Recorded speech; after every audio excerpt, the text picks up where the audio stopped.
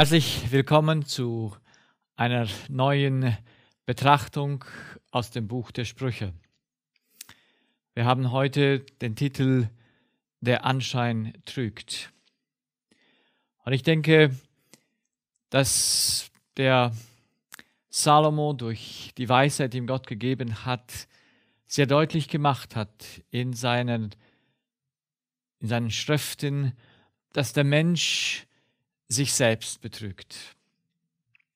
Der größte Betrug, in dem der Mensch lebt, ist der Selbstbetrug. Und dass der Mensch sich nicht Rechenschaft gibt von dem, was er denkt, vor allen Dingen von der Wurzel, aus der er denkt. Und diese Erkenntnis ist letztendlich die Weisheit, die Gott dem Menschen geben will, dass er sich selbst erkennen kann und aus der Blindheit des Selbstbetruges, des Anscheins, dass er meint, er gehe richtig, hervorkommt. Und dafür hat Gott zwei Mittel, die er anwendet, um uns herauszubringen. Es ist auf der einen Seite die Furcht des Herrn, die mir die Blindheit von den Augen reißt. Und es ist auf der anderen Seite die Offenbarung des wahren Weges, auf dem ich gehen soll, die mich begleitet dass ich ans richtige Ziel komme. Der Abschnitt, den wir haben heute in den Sprüchen, beinhaltet einen Text, der uns ein bisschen zum Nachdenken bringen soll. Und ich würde wieder vorschlagen, wir lesen ein wenig davon und machen dann wieder das, was wir verstehen daraus und wie wir es verstehen müssen. Ich lese ab, ab Vers 1 aus Kapitel 14. Die Weisheit der Frauen baut ihr Haus, die Torheit reißt es ein mit eigenen Händen. Wer in seiner Redlichkeit wandelt, der fürchtet den Herrn, Wer aber verkehrte Wege geht, der verachtet ihn. Im Mund des Narren ist eine Rute für seinen Hochmut. Aber die Lippen der Weisen behüten sie. Wo kein, keine Rinder sind, da bleibt die Krippe sauber. Die Kraft des Ochsen aber verschafft großen Gewinn. Ein treuer Zeuge lügt nicht, aber ein falscher Zeuge spricht Lügen aus. Ein Spötter sucht Weisheit und findet sie nicht, doch für den Verständigen ist Erkenntnis leicht. Das haben wir letztes Mal uns angeguckt und gesehen, für den Verständigen sind die Wege deutlich und klar. Der Spötter, der sucht vielleicht die Weisheit, aber er sucht sie in einer Art und Weise, dass er sie nicht finden kann. Geh weg von dem dummen Menschen, du hörst doch nichts Gescheites von ihm. Die Weisheit lässt die Klugen erkennen, welchen Weg er gehen soll, aber die Torheit der Narren betrügt sie selbst. Die Toren treiben Gespött mit ihrer Schuld, unter den Redlichen aber ist Gottes Wohlgefallen. Das Herz allein kennt seinen eigenen Kummer, und auch in seine Freude kann sich kein Fremder mischen. Das Haus der Gottlosen wird zerstört, aber das Zelt der Redlichen wird aufblühen.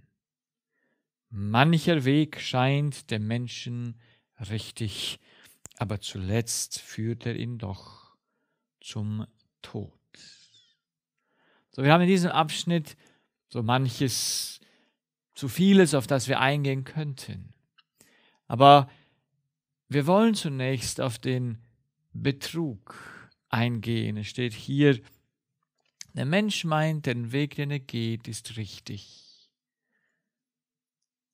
Aber zuletzt führt er ihn doch zum Tod. Und in Vers 8, aber die Torheit des Narren betrügt sie selbst. Die Torheit der Narren betrügt sie selbst. Das heißt, der Mensch lebt letztendlich in einem Selbstbetrug. Das nicht, weil ihn Gott so geschaffen hat. Wir wissen, dass der Mensch am Anfang, als Gott ihn gemacht hatte, in der vollen Kraft seines Verstandes war. Er war am Anfang des Weges, um Weisheit und Erkenntnis zu lernen. Und ihm wurde eine Prüfung aufgegeben. Er musste sich das aneignen, was wirklich ein Gewinn und ein Verlust ist. Und da er ja in diesen großen Kampf zwischen Gut und Böse hineingeboren wurde, hat Gott es möglich gemacht, dass auch der Mensch an einer gewissen Stelle versucht werden kann, betrogen werden kann, wenn er nicht an dem festhält, was Gott ihm sagt. Und wir erinnern uns, dass Gott dem Adam deutlich gemacht hatte, seine Gebote zu halten, das heißt, sein, sein Gebot war, iss nicht von dem Baum. Iss diese Frucht nicht, dann hast du Gewinn. Wenn du isst, dann hast du Verlust. Und an dieser Stelle konnte Satan den Menschen verführen. Er konnte ihm am Gebot quasi eine, eine andere Information zukommen lassen und ihn versuchen, indem er sagt, weißt du, ohne Gebot ist es besser. Das heißt, wenn du isst vom Baum, dann wird es dir gut gehen. Dann wirst du Weisheit erlangen und wirst sein wie Gott. Und wenn du nicht isst, das heißt, wenn du bleibst in diesem Zustand, geht dir diese Weisheit verloren. Ich möchte das noch hinzufügen hier auf dieser Seite von letztes Mal der Verlust im Selbstbetrug bedeutet das Halten der Gebote.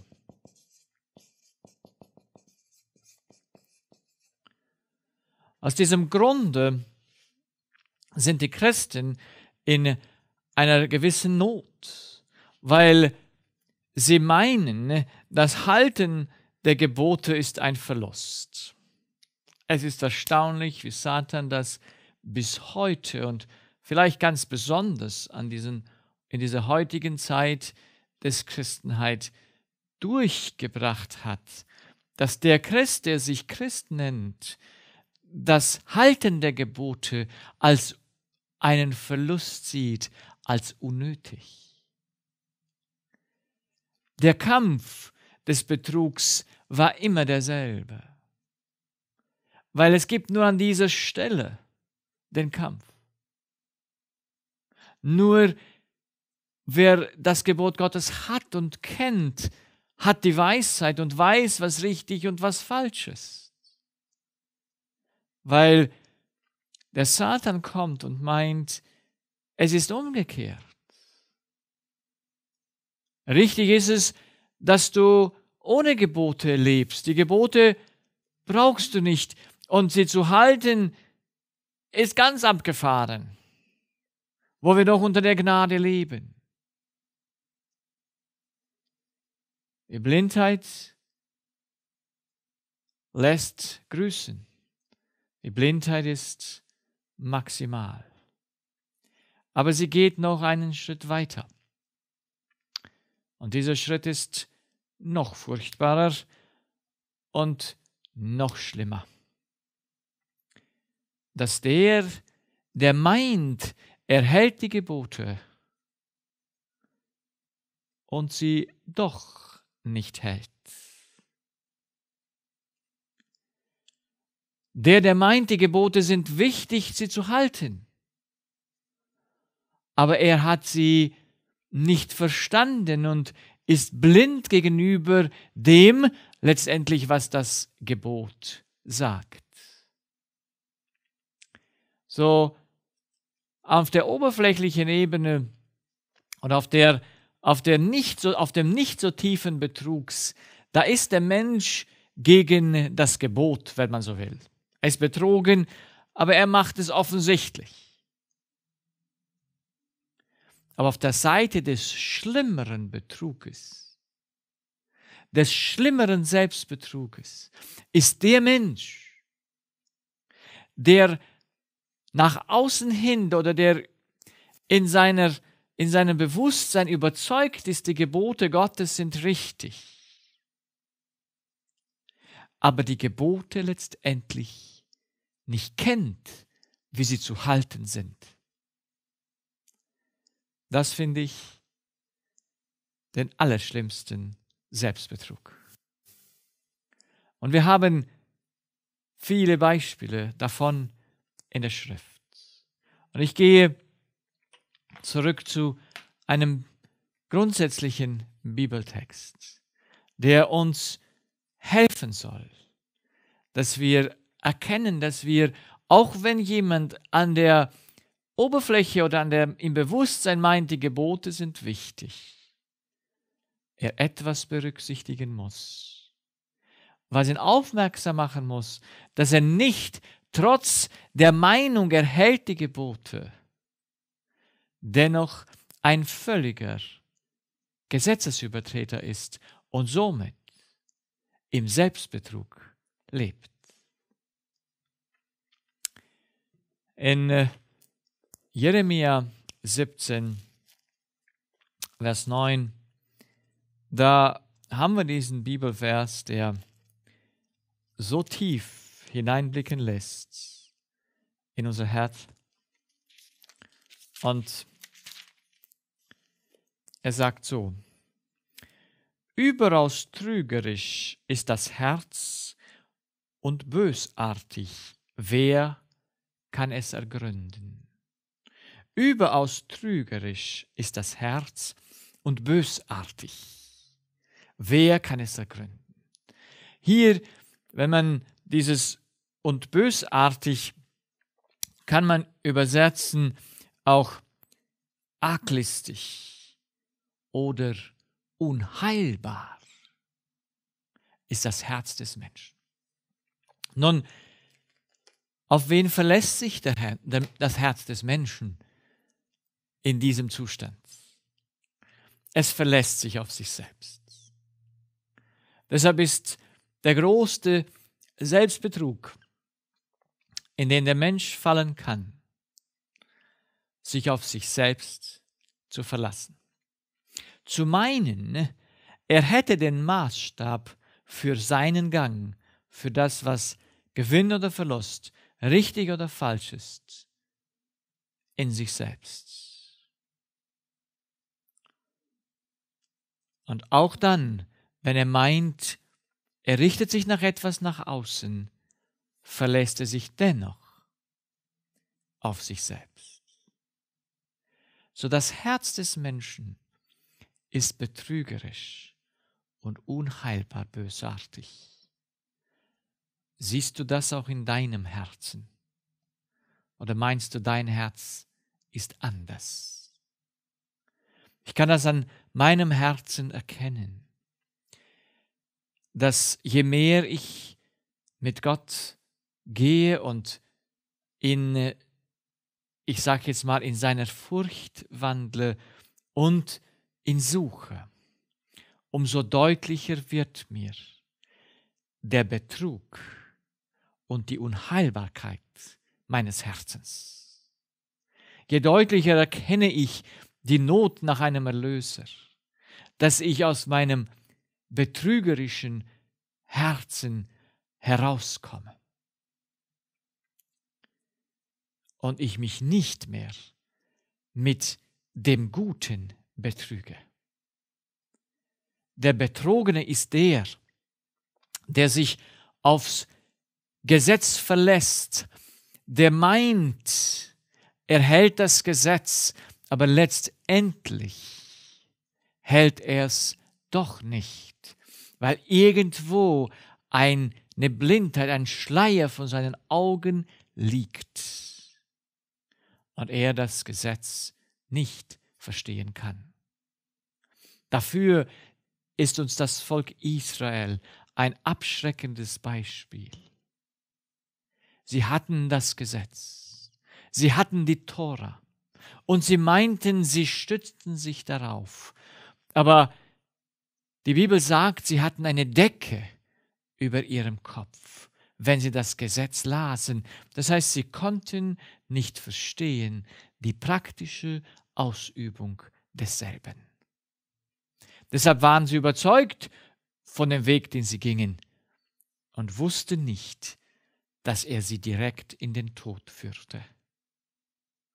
Sie waren überzeugt, sie haben es verstanden, aber sie sahen, als das Gesetz personifiziert kam in Christus, haben sie es nicht erkannt und abgelehnt und ans Kreuz genagelt. In der Absicht, das Gesetz zu halten. Ich finde, das ist der schlimmste Selbstbetrug. Der reiche Jüngling ist ein Vorbild davon, ein typisches Beispiel. Der behauptete, ich halte dieses Gesetz von Jugend auf. Dabei war keines dieser Gebote der Inhalt seines Lebens, weil er nur eine Schale verstanden hat und nicht die Essenz. Weil er nur die Form äußerlich hielt, aber nicht verstanden hatte, dass die Form zu einem Inhalt kommt und dass die Form ohne Inhalt sinnlos ist. Aber das hat er aus der Kindheit nicht verstanden. Aber als Jesus zu ihm kam und ihm die Schuppen vom Auge eröffnet, wegnahm und ihm seine Augen öffnete und sagte, ja, dir fehlt noch eines. Dir fehlt noch eines. Und das hast du nicht. Verkaufe alles, was du hast damit du das eine hast, den himmlischen Schatz. Durch das Verkaufen erst seiner Güter hätte er bewiesen oder hätte er das Gesetz umgesetzt, liebe deinen Nächsten wie dich selbst. Aber da und das wollte er dann nicht und blieb bei seinem irdischen Schatz. Im Betrug wahrscheinlich, dass Jesus doch nicht der Messias ist und dass er ihm das jetzt aufträgt. Mit welcher Autorität sagt er ihm das? Oder was auch immer durch seinen Kopf gegangen ist, sein irdisches Herz hat ihn betrogen und er hat darauf gehört, anstelle auf die Stimme seines Heilandes und seines Erlösers. So, lasst uns diesen ersten Gedanken zusammenfassen. Manchem scheint ein Weg richtig. Für den reichen Jüngling schien er richtig, bis er Heiland getroffen hat und bis dieser ihm einen anderen Weg zeigt.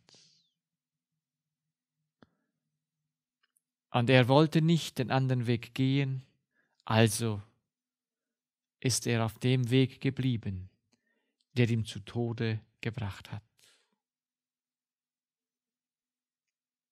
Der Selbstbetrug, im Gesetz zu sein, oder wie viele Christen sagen, ich bin in der Wahrheit, ich bin schon 50 Jahre in der Wahrheit, aber sie haben die Wahrheit nicht verstanden, sie haben nicht erkannt, dass die Wahrheit das Ausleben der Liebe ist.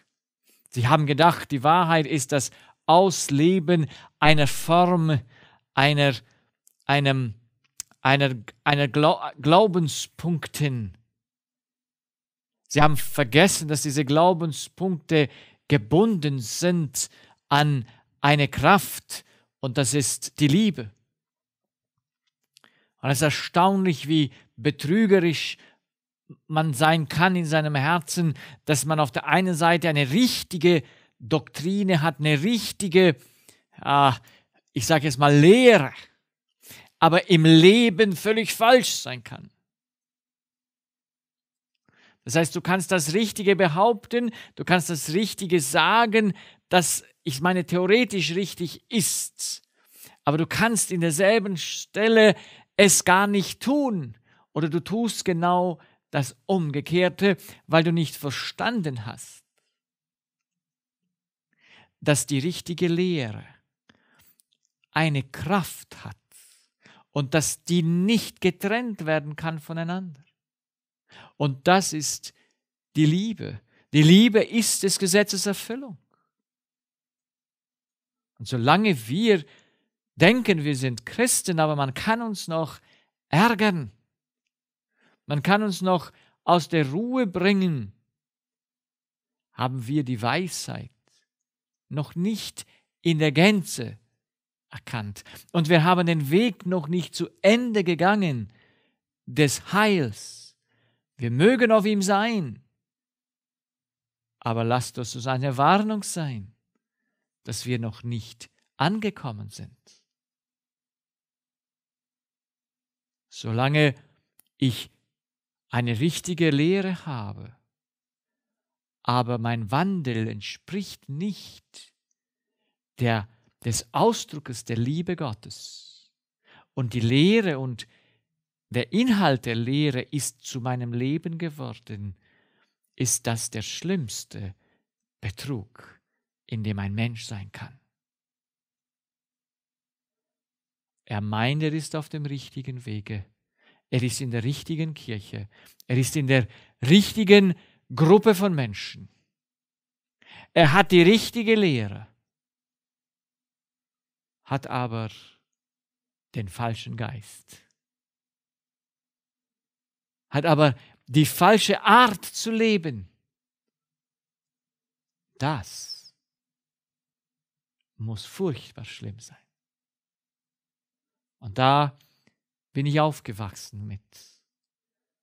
Und ohne Gottes Hilfe kommt keiner zur Weisheit, keiner zur Erkenntnis, kein einziger. Aber Gott ist gnädig, so wie er dem reichen Jüngling Jesus schickt, so wie er allen anderen Menschen in irgendeiner Weise begegnet und ihnen einen neuen Weg öffnet, so kommt er auch zu dir und zu mir. Und wir haben dann die Möglichkeit, es anzunehmen oder abzulehnen. Aber es ist schwer, wenn du als gebotgläubig dich siehst und jemand kommt zu dir und erklärt dir, dass du das Gebot in deinem eigenen Leben doch nicht hältst. Weil du irgendwelche Dinge in deinem Leben offensichtlich sind, die deine, deinen Irrtum verraten. Der ist schwerer zu erlösen, wie der, der offensichtlich das Gesetz verleugnet. Ich habe schwieriger einen strenggläubigen Menschen, der zum Gesetz steht, zu überzeugen, dass er ein Gesetzesübertreter ist, wie denjenigen, der gegen das Gebot ist und sagt, ich brauche es nicht mehr zu halten, aber ich kann ihm beweisen, dass es doch haltbar ist. Für ihn ist es leichter, wenn er in der, in der Entscheidungsphase kommt, es anzunehmen. Ist eines der traurigsten Sachen. Die Heiden, die Völker rum, die Städte rum, wo Jesus ging, außerhalb von Israel, dort, wo er an die Grenzen ging, dort finden wir, dass Menschen ihn annahmen. Viel leichter. In Samaria musste er kein Wunder tun, außer dass er der Frau ihre Geschichte erzählt hat am Jakobsbrunnen. Und er blieb dort und die Leute gingen, er ging weg nach zwei Tagen und die Leute sagten in Samaria, das ist wahrhaftig der Messias, der Sohn Gottes. Und das ohne, dass er irgendein Wunder getan hatte. Wir glauben jetzt nicht, weil du gesagt hast, sondern wir glauben, weil wir es selber gesehen und gehört haben.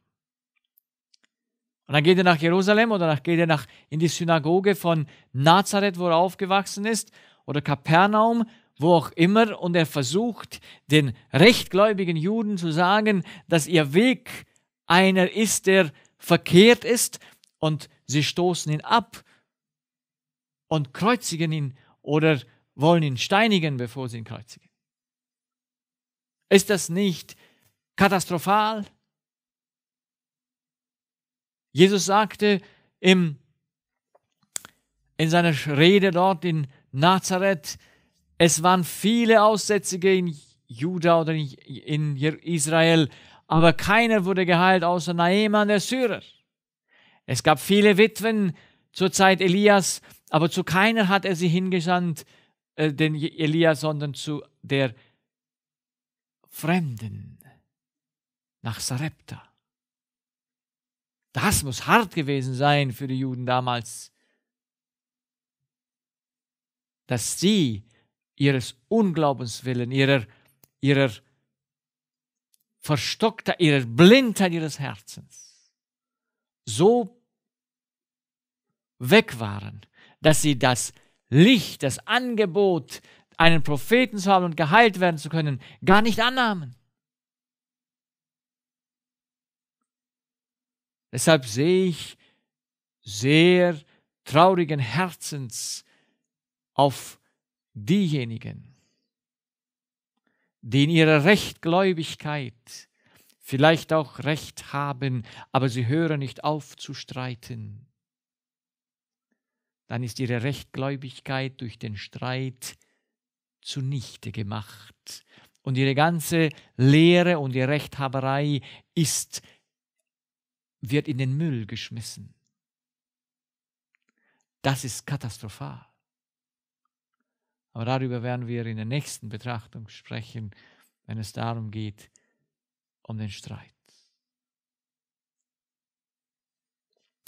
So lasst uns einen Schritt vorwärts gehen in der Betrachtung unseres Lebens. Wir wollen, also ich will nicht, am Ende von meinem eigenen Selbstbetrug sterben, sondern ich will leben.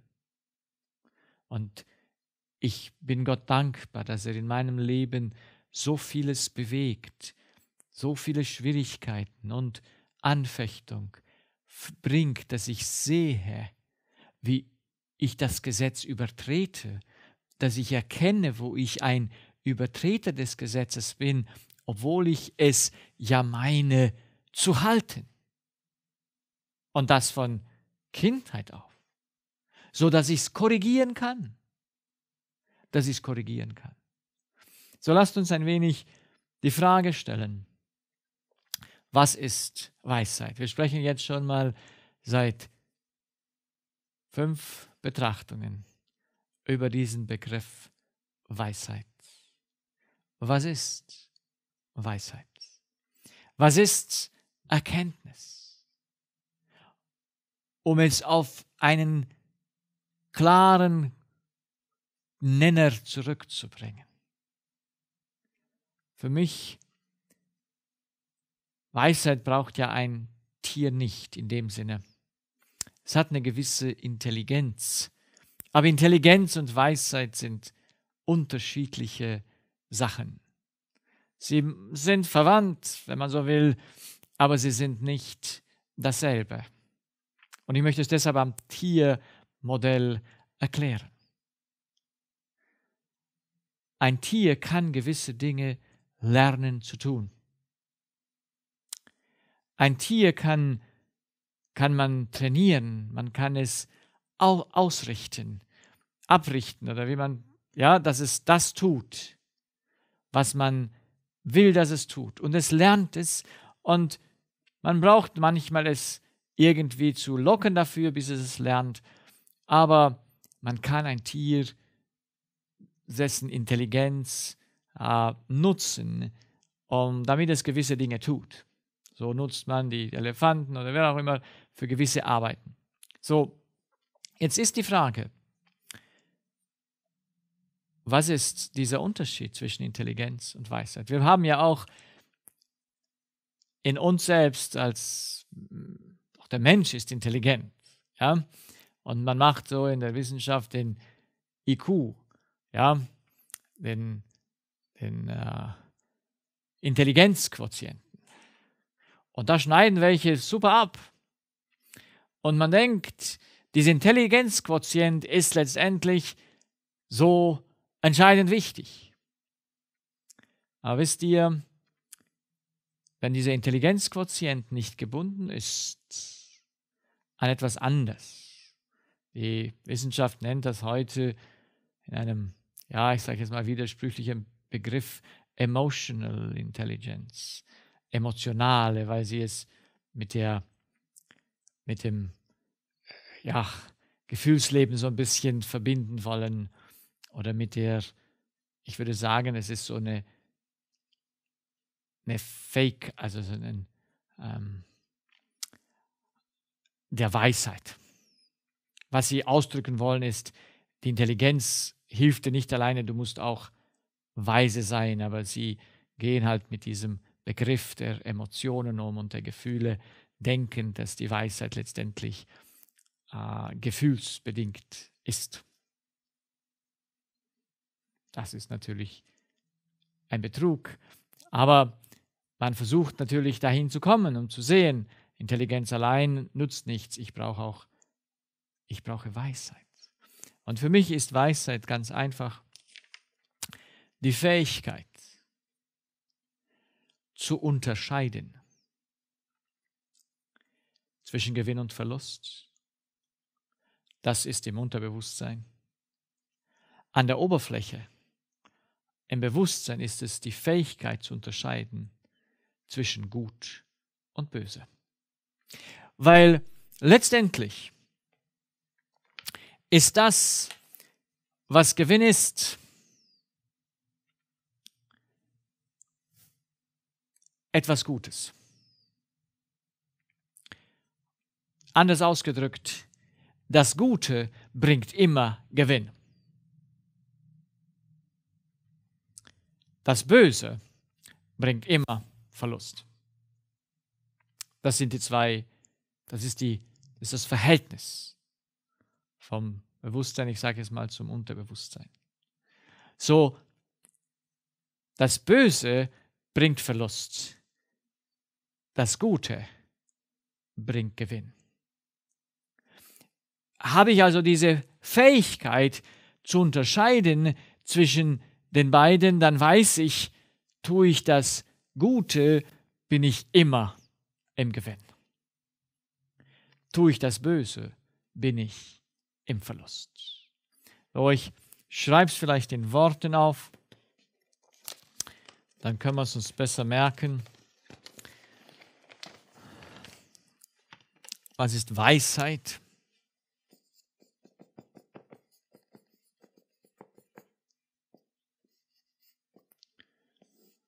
Weisheit ist Unterscheidungsfähigkeit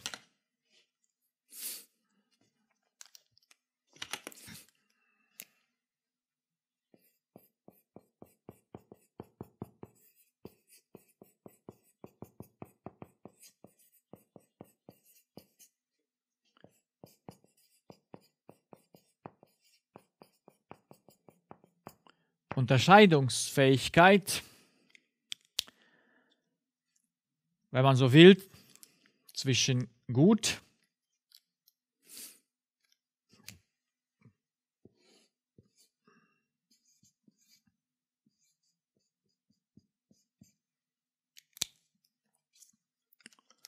und böse.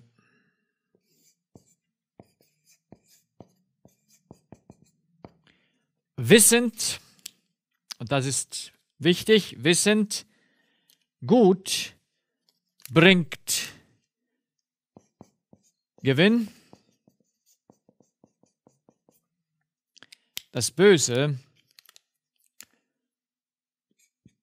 bringt Verlust.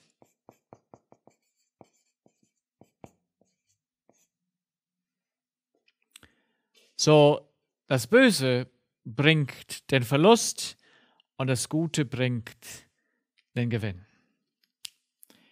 Wir sind gemacht worden zum Gewinn. Das haben wir alle verstanden. Und wir sind gemacht worden, das Böse zu vermeiden. Das ist so, wie uns Gott geschaffen hat. Damit wir das Böse tun können, das habe ich häufig gesagt und ich muss immer wieder wiederholen, dass wir das richtig verstehen, muss uns der Böse, müssen wir bewusst oder müssen wir uns, müssen wir betrogen werden, dass es uns Gewinn bringt. Sonst können wir es nicht tun. Und damit wir das Gute nicht tun, müssen wir betrogen werden, dass das Gute böse ist. Deshalb finden wir in der Heiligen Schrift, dass die Weisheit diese Unterscheidungsfähigkeit ist zwischen gut und böse. Das heißt, wir haben die Fähigkeit zu wissen, was bringt uns jetzt den Verlust und was bringt uns den Gewinn. Verdreht man die Sache, werden wir immer umgekehrt sein, das eine tun und das andere lassen. Wir können nicht beides gleichzeitig. Das heißt, der Böse muss uns die Werte so verändern, dass wir das Gute böse heißen und das Böse gut. So dass wir dann von unserem Herzen aus, wo wir da dann Gewinn haben wollen im Guten, das Böse tun. Ich habe das versucht letztens zu erklären mit der Heirat, mit der Nichtheirat, das Gebot halten oder nicht halten oder man will ja den Verlust vermeiden, also denkt man, man kann auch ohne das Gebot äh, leben. Als der Salomo für Weisheit betete, da wollte er ein verständiges Herz.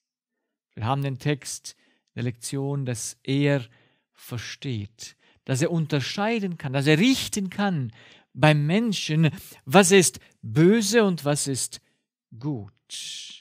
Diese Unterscheidungsfähigkeit, das eine bringt immer Verlust und das andere bringt immer Gewinn. Und denke ich aber, dass das ja, mir Verlust bringt, kann ich es natürlich nicht mehr tun.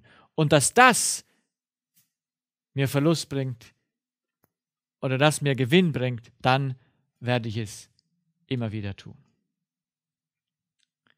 So, Weisheit ist die Unterscheidungsfähigkeit von dem, was mir Gewinn oder Verlust bringt. Das ist alles. Ein Tier hat eine Intelligenz. Und es muss auch zwischen Gewinn und Verlust unterscheiden. Es hat auch eine Fähigkeit zur Unterscheidung.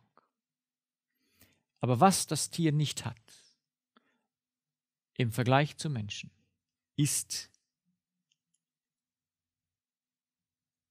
die Verantwortung. Die Verantwortung für das, was es tut. Die Verantwortung für seine Wahl hat das Tier nicht.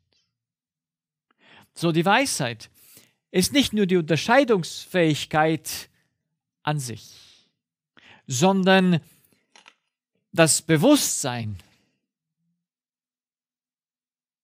das Bewusstsein, meine Entscheidung ist meine Verantwortung. Meine Entscheidung ist, wird von mir als zur, ich werde zur Verantwortung gerufen. Sie ist nicht ohne Konsequenz. Auch fürs Tier nicht. Wenn das Tier einen Weg geht, hat es eine Konsequenz, aber keine moralische. Das Tier hat keine moralische Konsequenz.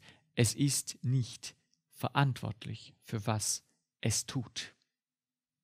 Auch wenn es selber die Unterscheidungsfähigkeit hat, zu nach links und nach rechts zu gehen. Weil das Tier die Begriffe gut und böse nicht hat. Die sind nur dem Menschen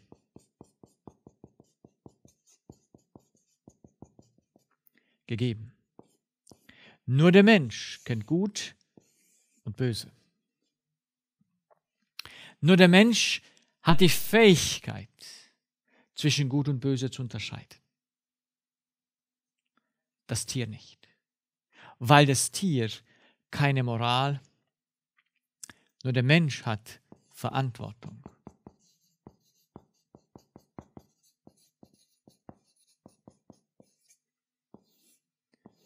Deshalb ist ja der Salomo von Gott so gelehrt worden und er versucht uns in seinen Schriften deutlich zu machen, du Mensch bist verantwortlich von dem, was du tust. Das Tier nicht.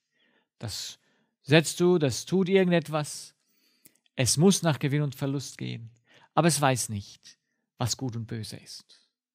Du aber als Mensch, du weißt es.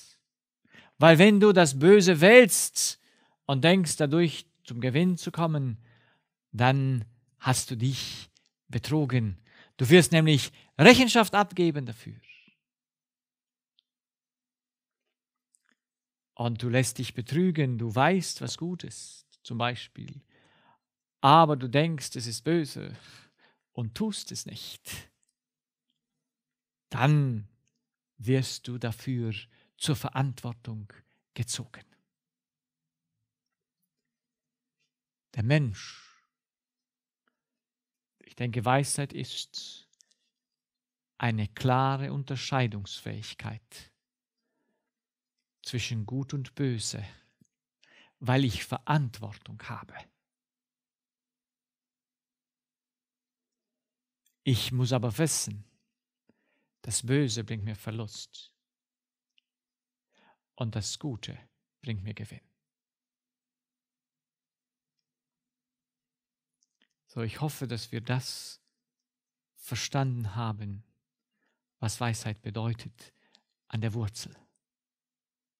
An der Wurzel bedeutet es, da ich ein moralisches Wesen bin und verantwortlich für den Gewinn und den Verlust. Verantwortlich für das, was ich tue oder nicht tue wofür ich Ja sage und wofür ich Nein sage. Muss ich die Erkenntnis haben von Gut und Böse. Ich muss es aber verbinden, dass ich genau weiß, wenn ich das Böse tue, ist es Verlust. Wenn ich das Gute tue, ist es Gewinn. Und sicherlich umgekehrt. Deshalb ist der einzige Weg, den Menschen in die Irre zu führen. Diese beiden Dinge, Gut und Böse, zu vermischen.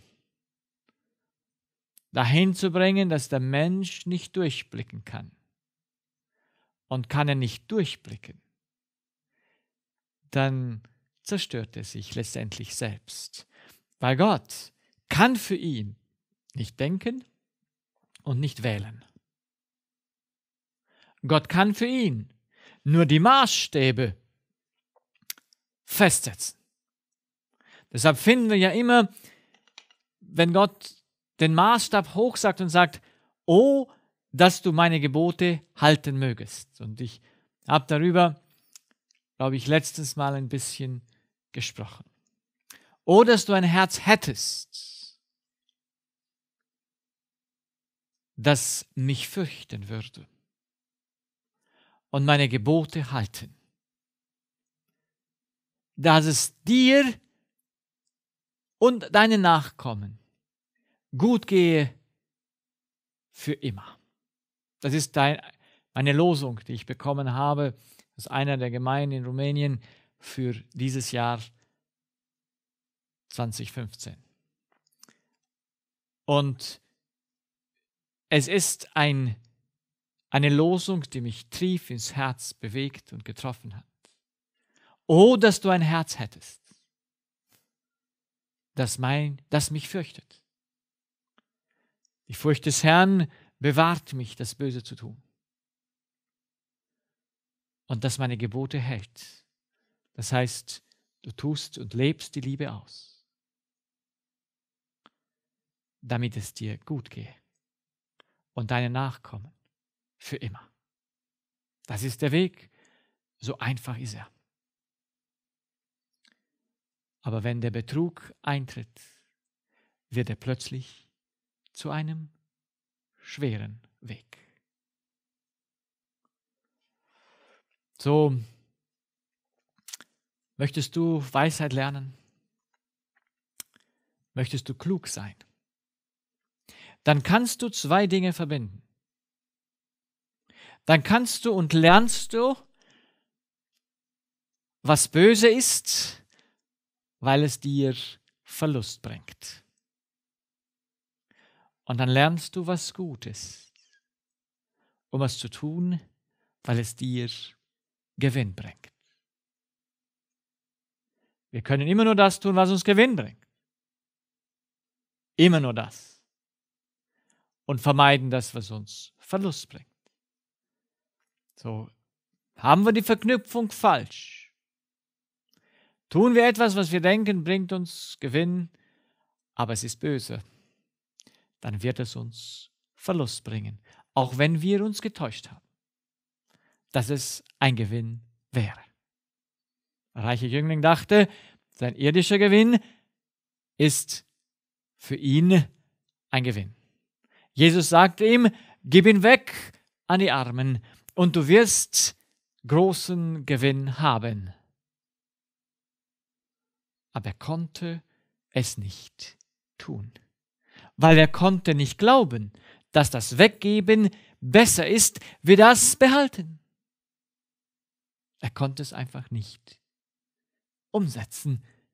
Nicht, weil er hätte nicht gekonnt, sondern er, der Zweifel in seinem Herzen hat ihn trotz der Liebe Jesu, die Jesu zu ihm hatte, trotz der klaren Einladung, trotz der klaren Informationen, die er wahrscheinlich schon aus anderen Quellen über Jesus und über das, die Wahrheit hatte, hat er nicht angenommen. So, was hindert uns, kluge Menschen zu werden und weise Menschen zu werden?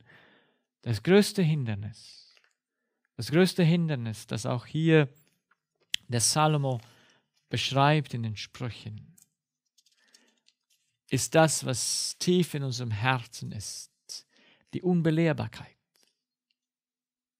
Wenn ich Gott bin, wer will mich lehren, welches der Maßstab ist? Wenn ich Gott bin, wer will mir sagen, wo der Weg lang geht? Wisst ihr, die große Sache ist, hier in Kapitel 15,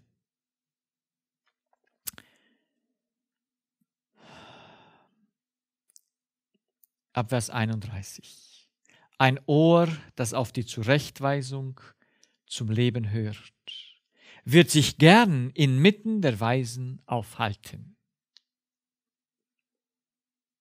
Ein Ohr, das auf die Zurechtweisung zum Leben hört, wird sich gern inmitten der Weisen aufhalten. Wer die Unterweisung verwirft, verachtet seine Seele. Wer aber auf Zurechtweisung hört, erwirbt Verstand.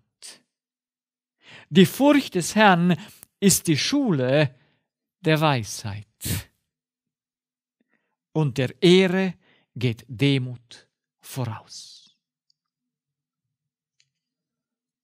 So, was ist der Punkt, der am schwierigsten ist für uns Menschen in der Irrtum unseres Herzens? Was wird uns am meisten Kampf bedürfen, um den richtigen Weg zu gehen? Was wird es sein?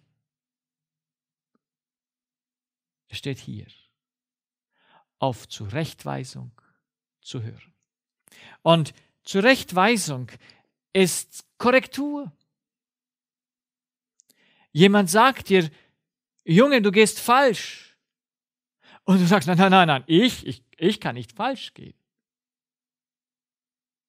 Du nimmst die Zurechtweisung, die Korrektur, die Ermahnung eines anderen oder des Wortes Gottes nicht an, weil du denkst, du weißt es besser. Das größte Hindernis, weise zu werden, ist, sich korrigieren zu lassen. ist der Stolz. Warum geht der Ehre Demut voran? Warum ist Demut etwas, was auf dieser Welt und in unserem Leben so entscheidend ist, dass wir weise werden? Weil die Demut macht uns in der Lage, zu sehen, unsere Not. Wir sind nicht Gott, wir sind nicht so, wie wir uns das vorstellen, dass wir ähm,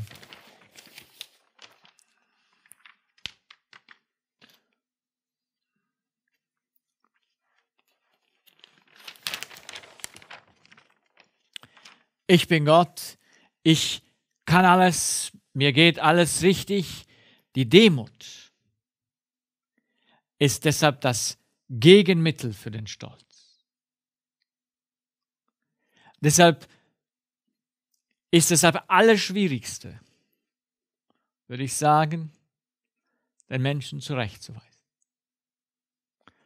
Oder letztendlich gesagt, das ist die Methode, weil die Zurechtweisung der Mensch ablehnt, weil er nicht sich, weil er in seinem Stolz denkt, er hat es doch alles richtig verstanden. Und ich lerne das in meiner Praxis Tag für Tag. Ich muss meinen Patienten, wenn er gesund werden soll, muss ich ihm eine Weisung geben. Aber ich muss ihn letztendlich zurechtweisen. Das heißt, er ist irgendwo vom Weg abgeirrt. Nicht, weil er wusste den Weg, weil er es nicht wusste. Und ich muss ihm zeigen, schau, dieser Weg, den du gehst, der ist falsch. Er macht dich krank. Möchtest du ihn weitergehen? Auch wenn du denkst, er ist richtig. Ich muss zurechtweisen. Aber ich habe schon so oft es falsch getan. Weil man meint, man müsste das so klar und deutlich und dem, dem Menschen das vor die Füße werfen. Und ich habe verstanden, wenn die Zurechtweisung in einer gewissen Art geht, dann wird sie abgelehnt. Wisst es ist nicht einfach, einem stolzen Menschen zu erklären, dass er irgendwo sich verirrt. Deshalb ist der Hochmut die größte Plage, die der Mensch hat. Ich weiß es, ich weiß es besser und ich lasse mich nicht belehren. Und belehrt man den Menschen und weist ihn zurecht mit Liebe und mit Erkenntnis, dass er die Schwierigkeit hat, das anzunehmen, weil es ja seinen Stolz direkt angreift. Muss es so dargestellt werden, es muss so ans Herz herangebracht werden, wie Jesus das getan hat, ohne diesen Stolz zu reizen sondern man muss ihm nur erklären, das ist die Blindheit seines Herzens. Und wenn man mir das Gottes Gnade gut erklärt, so hat man nicht zumindest die Chance verpasst, dass dieses Herz erleuchtet wird. Sonst sagt man ihm die Wahrheit und man trifft direkt auf den Stolz und man macht das Ding kaputt und der andere hört einem nie mehr zu. Obwohl man es wahr sozusagen gesagt hat. Aber man hat nicht Rücksicht genommen, dass das Herz des anderen mit der Zurechtweisung ein großes Problem hat. Deshalb sagt der Weise den Spötter nicht zurecht. Es ist Dummheit, den Spötter zurechtzuweisen, derjenige, der den Weg absichtlich ablehnt, derjenige, der meint, er ist ganz richtig und du gehst in einen Streit mit ihm und willst ihn zurechtweisen, ist pures Versagen. Oh, wie häufig habe ich es getan. Ich hoffe, der Herr bewahrt mich, dass ich es noch tue. Aber die Gefahr besteht, weil mein Stolz mich betrügt. Ich sehe die Klarheit, ich weiß, was richtig ist und ich sage es und ich sage es dem Spötter. Er wird über mich lachen. Und mit Spötter sind manchmal die Weisen dieser Welt gemeint, die es alles besser wissen. So weise sie nicht zurecht. Weise aber den Weisen zurecht. Weise den zurecht, der lernen will, der, der in seiner Demut erkennt seine Not und er wird dir es zugute rechnen. Zurechtweisung ist etwas, ist der Weg, Weisheit zu lernen, weil die Zurechtweisung erklärt mir das Böse. Oder nicht? Deshalb spielt die Furcht des Herrn so eine starke Rolle in diesem ganzen Erkenntnisgewinn. Weil die Furcht des Herrn sagt uns, wir haben das hier letztens gesehen, die Furcht des Herrn zeigt uns, wir sind Geschöpfe, aber vor allen Dingen sagt uns die Furcht des Herrn, das Böse, die Sünde,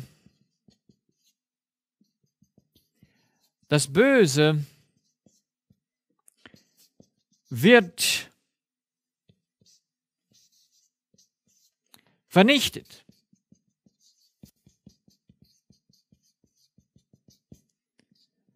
Und wenn du mit dem Bösen verbunden bist, wenn die Sünde dir anklebt, wirst du mit der Sünde vernichtet werden.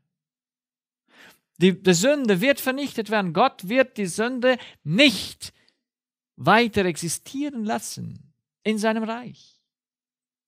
Sein Gericht wird die Sünde entfernen. Aber da die Sünde ja nur gebunden ist an einen Menschen, so wird der Mensch, auf dem die Sünde klebt, der sie tut, mit der Sünde vernichtet sein. Deshalb musste das Lamm Gottes kommen, um die Sünde von uns wegzunehmen. Weil Gott wird die Sünde vernichten. Zu Recht und mit großer, ich sage jetzt mal, Hass, weil er muss die Sünde hassen, er muss die Lieblosigkeit, das, was heute auf dieser Welt passiert, das muss Gott ein Gräuel sein. Und es ist auch uns ja schon ein Gräuel, die wir im Bilde Gottes geschaffen sind. Das muss vernichtet werden. Das weiß der Gerechte, das weiß, das wissen wir. So die Frage ist, wenn die Furcht des Herrn mir deutlich macht, das Böse wird vernichtet, dann muss ich mich ja vom Bösen trennen. Sonst wird Gott mich zusammen mit dem Bösen vernichten. Deshalb steht hier die wunderbaren Worte, die Furcht des Herrn ist die Schule der Weisheit. Und der Ehre geht Demut voraus. Wer die Unterweisung verwirft, verachtet seine Seele. Verwirfst du Verachtung?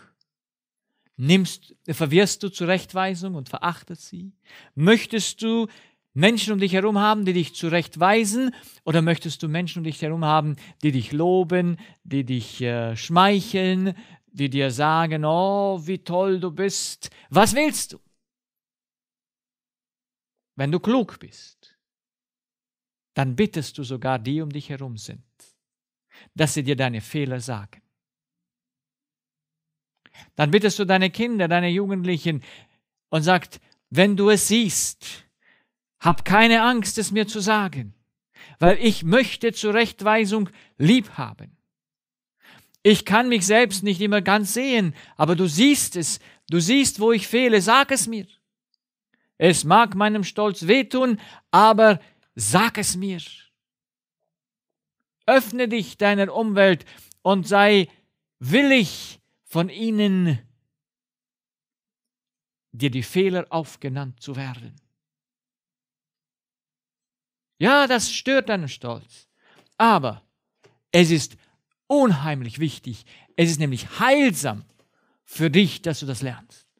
Heilsam. Sonst lernst du es nie. So, möchtest du Zurechtweisung lieben? Ich weiß noch, als ich meinen Kindern gesagt habe und meiner Frau, wenn immer, immer sie mich geärgert sehen, dürfen sie mich sofort ansprechen, dass ich jetzt nicht richtig bin.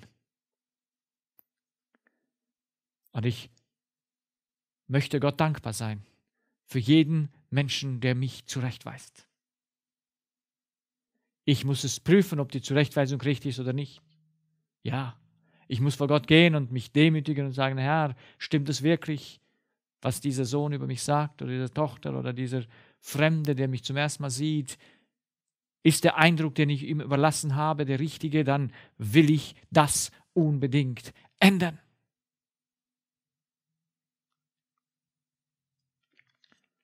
Weisheit kann man nur lernen, wenn man zur Rechtweisung liebt. Deshalb sagt die Sprüche, der sich korrigieren lässt, der ist unter den Weisen. Der hört den Weisen gern zu. Der hört zu denen, die ihnen dem seine Fehler offenbaren, weil sie sind, ich würde sagen, die Boten Gottes, auch wenn sie es nicht immer richtig sagen. Ich meine, mit der rechten Haltung, die vielleicht nicht so weh tut. Aber ganz egal, wie mir jemand die Wahrheit sagt, ich und mich zurechtweist, ich möchte auf die Zurechtweisung hören. Koste es mich, was es wolle lieber zurechtgewiesen werden und die Blindheit meiner Fehler sehen, als so zu bleiben, wie ich bin.